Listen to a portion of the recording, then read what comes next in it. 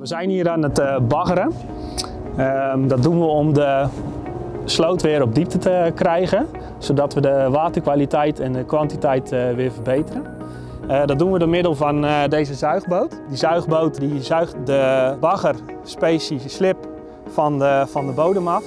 De slip die vrijkomt, die wordt vervoerd door een pijpleiding naar een depot toe. Daar wordt het uh, ingespoten en daar laten we het uh, indrogen, zodat de baggerspecie weer bruikbaar is om het perceel op te hogen. Zo'n depot wordt opgebouwd met grondkaders eromheen. Naderhand worden die weer over het weiland perceel heen gelegd, zodat het perceel weer netjes wordt opgehoogd en achtergelaten voor de eigenaar. Bagger heeft invloed op de flora en fauna, de beestjes en de plantjes die in de watergang leven. Het is heel belangrijk om daar goed naar te kijken.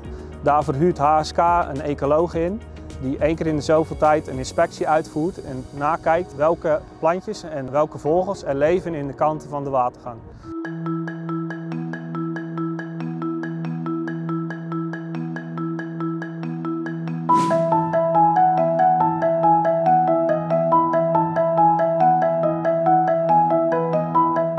In deze zakken wordt verontreinigde baggerspecie opgeslagen.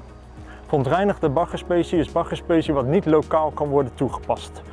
De baggerspecie wordt met een zuigboot naar deze zakken gepompt en aan de bovenkant in de zak opgeslagen. De baggerspecie ontwatert heel snel. Na afloop, als de baggerspecie voldoende is ingedroogd, wordt deze verwerkt door een gecertificeerd bedrijf.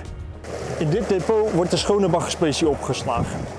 De baggerspecie ontwatert en vergrondt. Na afloop wordt het perceel opnieuw uitgevlakt en ingezaaid. Op deze manier creëren we perceelsverbetering.